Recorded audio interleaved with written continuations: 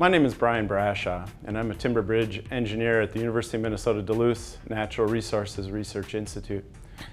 We're engaged in a research project in cooperation with the Minnesota Department of Transportation and the Local Road Research Board to develop and identify new bridge inspection techniques that can be used by inspectors in the state of Minnesota. This project is funded through the Local Road Research Board and is allowing us to develop these techniques and transfer them to uh, our inspection community in the state through short courses and demonstration videos like we have today. One of the technologies that we're going to demonstrate and talk about is microsecond timing. There's a number of commercial manufacturers, but one of the tools that we recommend is a Fakopp microsecond timer. Stored in a strong, durable, waterproof case, we are going to utilize this equipment today in our demonstration. One of the keys is to connect the probes. The red is a start transducer and the black is a stop. These are our transducer heads that will be inserted into the member itself. As we start the equipment, we want to hold the reset button when we turn it on. This allows us to be able to um, automatically reset the data each time we hit one of our tools. One of the things that the inspector has to make sure is that they've got the probes connected to the right location. If after inserting the probe into the member and we find that we don't get any measurement at all, likely we've connected the probes to the wrong connections. Stress wave timing is an effective tool that can be used to assess the quality of timber bridges here in Minnesota. It allows us to see and understand the internal quality and the presence of decay or deterioration that might be present. Oftentimes, a bridge inspector utilizes a hammer and conducts hammer sounding during a visual inspection of timber members, such as timber pilings or timber pile caps.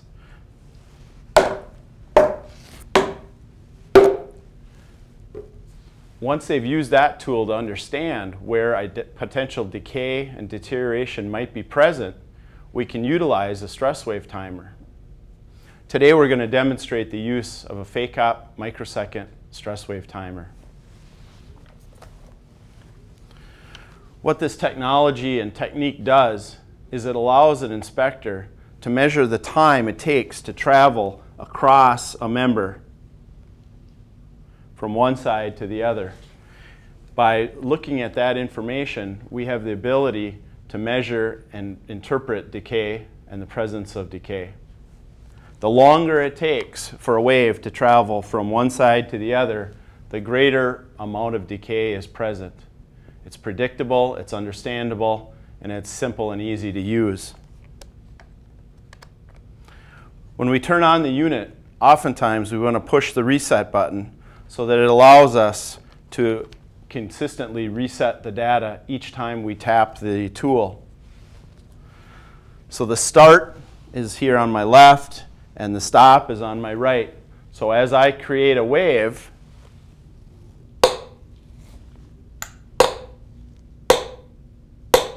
that wave travels across the member and it stops the clock on the far side.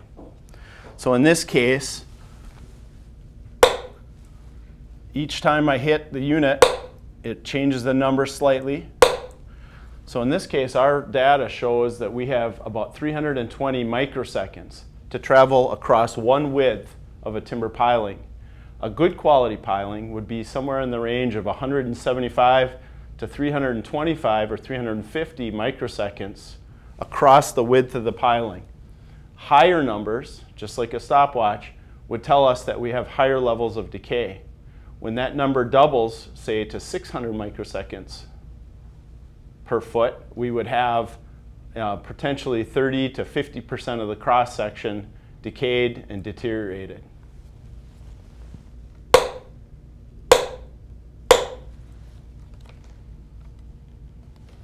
The probes are easy to insert and remove from the piling. It's a simple tapping in process. Each probe is inserted about a quarter of an inch so that it's firm and sound and with good attachment. We want to line up the opposite probe directly across at about the same level. Again, inserting it about a quarter of an inch into the member itself. To complete the testing, we want to hit, strike the probe sharply, consistently, and without driving the probe deeper into the wood, which potentially changes the time.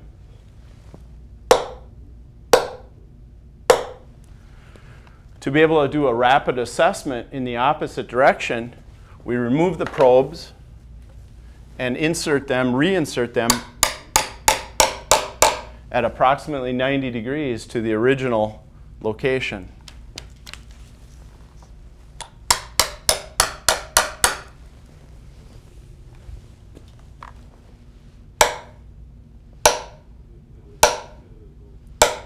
This allows us to be able to see and visualize what's happening inside the member itself. The amount of time front to back on this piling is slightly shorter than it was side to side, telling me that there may be the presence of decay in my original measurement.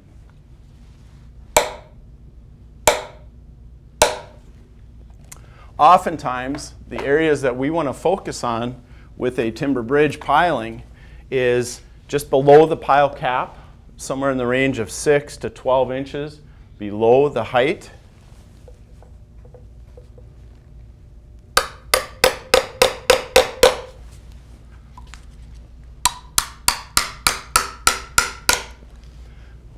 This allows us to understand any presence of moisture or water that may have come through the bridge deck, through the cap, and into the top of the piling.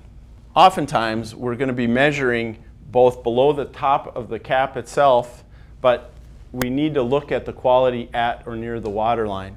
So we will remove our, our probes and reinsert them approximately six inches above the water line.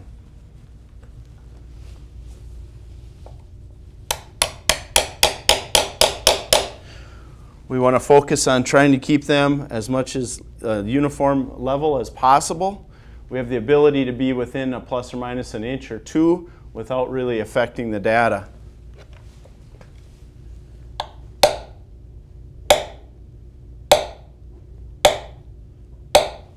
The numbers are very consistent. In this case, an average of about 300 microseconds to travel one foot across the member.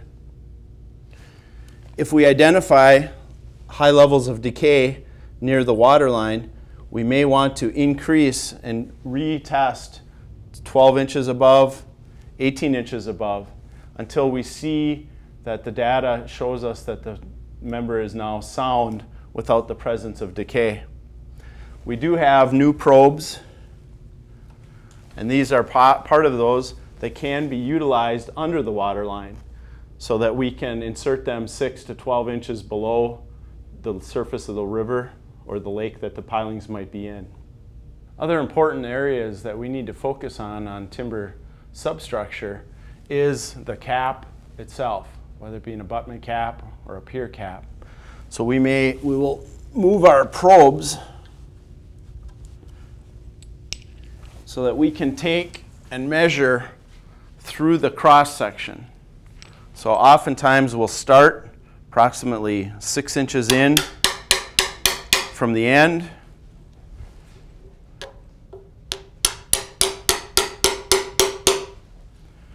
The greatest potential for decay usually exists starting at the ends or where water can come directly through.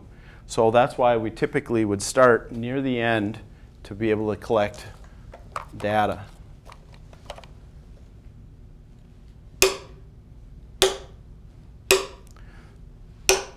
These numbers indicate that the quality is good and the material is sound. means that we probably don't have to go very far inward to test. If these numbers were four, five, 600 microseconds to travel this foot, we would want to be able to map the presence of decay by taking a set of sec second set of measurements one foot in from the end. And then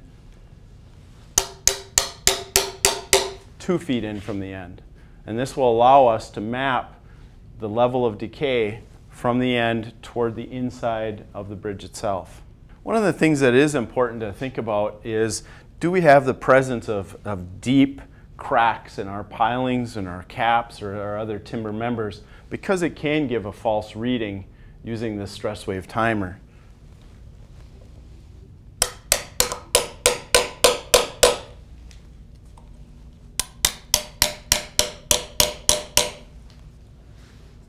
If there is a deep crack that might go through the cross section of the member, the sound wave itself has to travel around it, meaning that it'll take more time to get to the stop transducer. So we want to be very careful and understand what the depth and presence of some of these cracks are.